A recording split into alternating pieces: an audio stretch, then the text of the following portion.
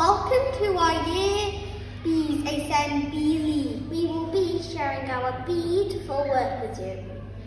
Before we start, Whoa, hang on a minute. Why do you keep on saying bee? because we are talking about Bees! Buzz off, you've had your turn. This is how it all began. Amy came to from the Bee Centre. She thrilled and inspired us all saying with our teacher, threw away their fans and replanned lots of busy activities. We are going to explain how truly important bees are. Firstly, you had better meet the beekeeper. Good day, it's my job to try and look after this little lot.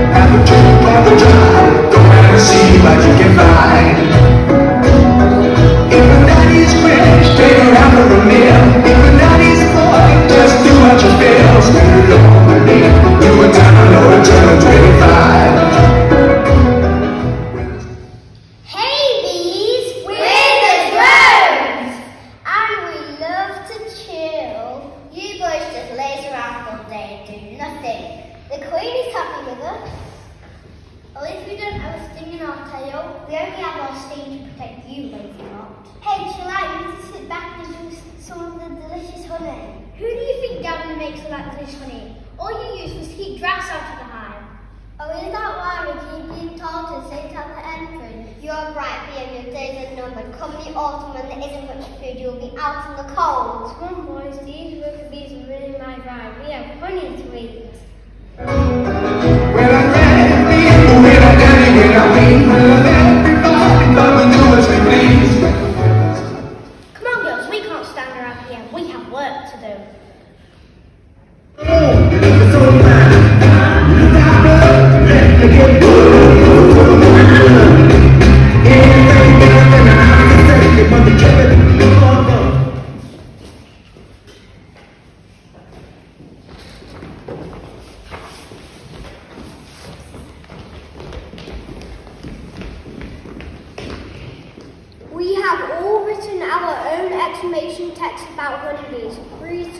Some to now. These are amazing creatures that are very special to the world. If they weren't around, most of our favourite foods would be gone. The process of making honey is hard for the bees. First of all, bees fly from flower to flower, collecting nectar with their very long tongue. The nectar goes into a special honey stomach. The nectar is made up of two sugars and water. Whilst in the bee's stomach, enzymes start to break down the nectar into two sugars. The bees appear to kiss each other as they give the contents of their honey stomach to another bee and another bee. This continues to break down the nectar. Once completed, the honeybee puts the nectar into the hexagonal wax cell. The bees then flap their wings to evaporate the water.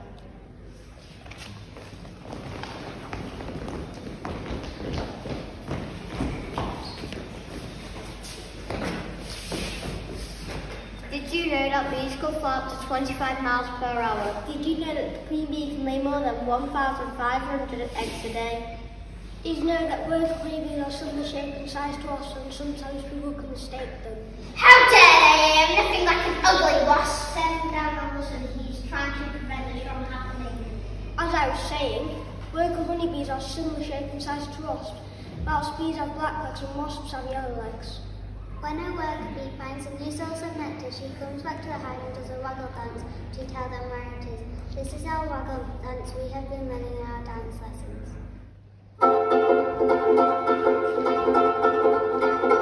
When you're smiling, when you're smiling, the whole world smiles with you. When you're laughing, when you're laughing,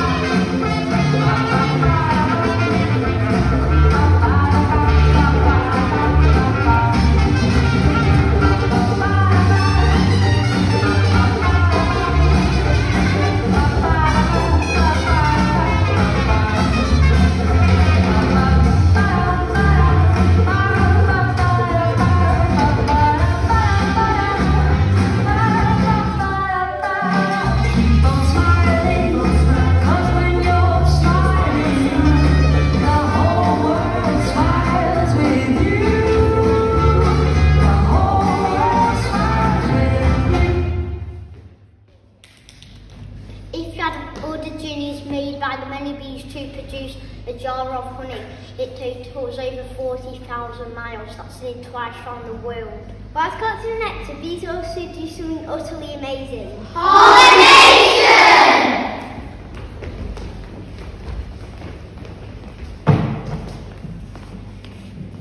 What's pollination?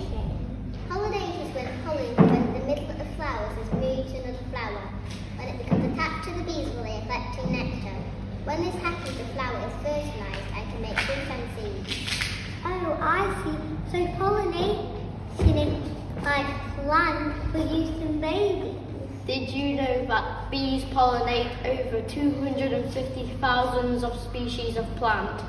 Wow!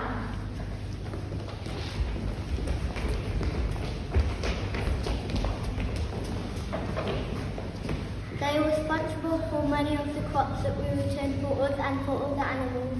So what would happen if bees weren't around?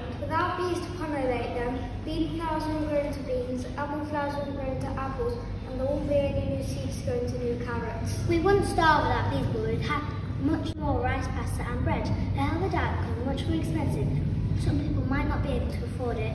Without bees, there'll be no pizza, crisps, chips, jams, apple pies, fruit yogurts, juice, and most types of fruits and vegetables. There'll be any herbs either, so food will be less tasty.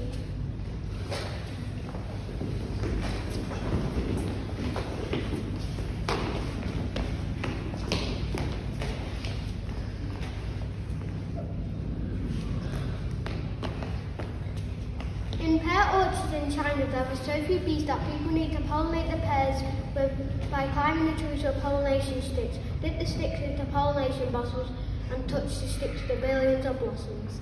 About 50% of beehives have to be transported in California to pollinate orchards.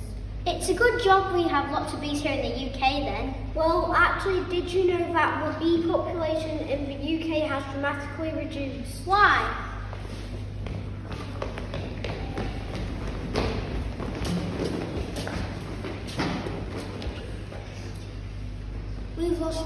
percent of wildflower meadows. They've been turned into farmland for food for people. Bigger fields are worse for bees because wildflowers and nesting sites are pushed to the edges. Houses, supermarkets, offices and roads have been built in wildflower meadows. Scientists are finding chemicals that affect bee cells when they feed on plants sprayed or treated with pesticides. There are also pests and diseases that weaken bees. The weather has an effect to more changeable weather. is causing floods, droughts and high winds. Also, the temperature can be warmer and colder than normal for the time of year. All this makes life more difficult for bees. I want to be helping.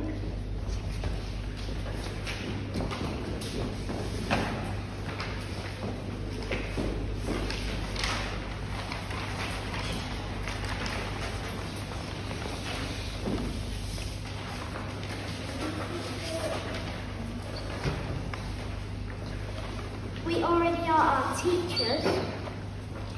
Have gone bee mad. In science this half term we have been learning about plants. We have planted dwarf flowers and a variety of different wildflower seeds because the bees love them. And we used them skills to measure them and create them. We used oil pastels to create some famous sunflowers. We also made 3D sunflowers using cards.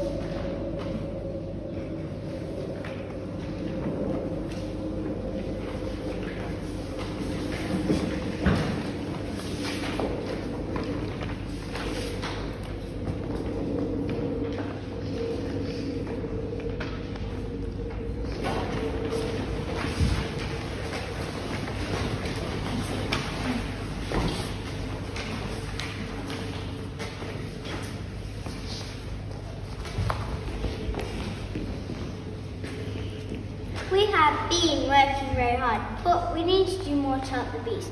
Amy from the Bee Centre also told us about a swarm cottage. What's a swarm cottage? It sounds cosy. It's a temporary bee house. When a hive gets too full, the bees swarm to go to find new home. Because there are fewer and fewer places for bees to swarm to, the swarm cottage can be brought from the bee centre to provide them with a temporary home.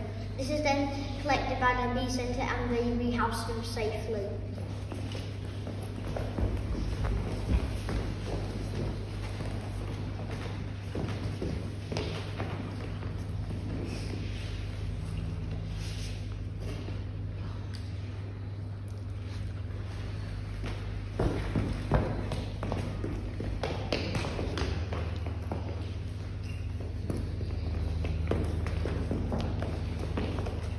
Year three are raising money to buy a swarm cottage for our school.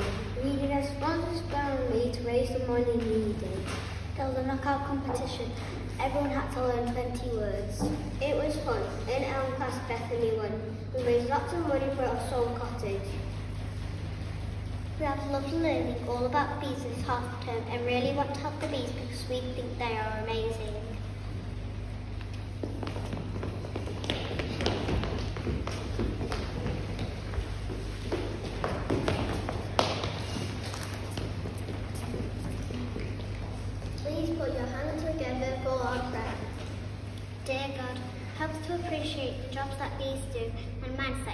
To us as humans to care for your world and your creatures within it. Help us to remember the bees who provide us with much wealth and the delicious honey that many of us enjoy. Please bless our bees and hives to be fruitful and happy. Amen.